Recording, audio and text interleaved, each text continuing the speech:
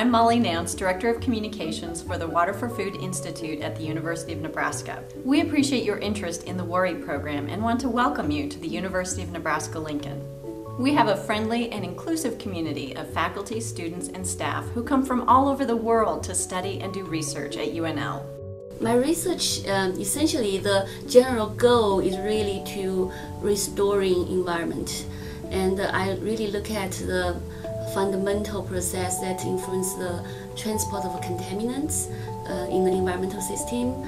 My research, uh, of course, is uh, primarily on uh, water quality with some focus on water quantity. So after coming to Nebraska, the focus uh, also mostly on the nitrate and uranium.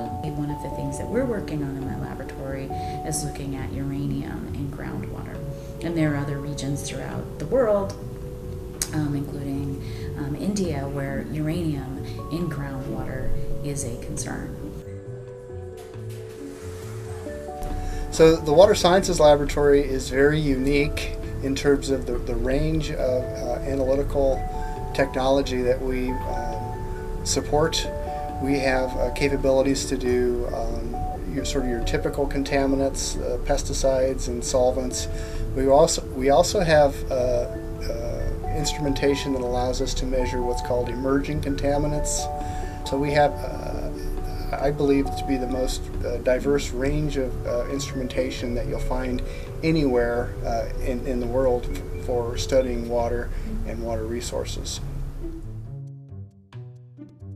The Robert B. Daugherty Water for Food Institute was founded in 2010 with the goal of increasing uh, food security through uh, better use of water. Our mission is global in nature. We work from smallholder agriculture to very large producers. We're very excited about the Water Advanced Research and Innovation Program in India. One of the things that we're particularly excited about is the ability to foster longer term interdisciplinary and multidisciplinary research programs with uh, a variety of teams of researchers across the two countries. Thanks again for applying for this exciting opportunity. We look forward to helping you grow in your career.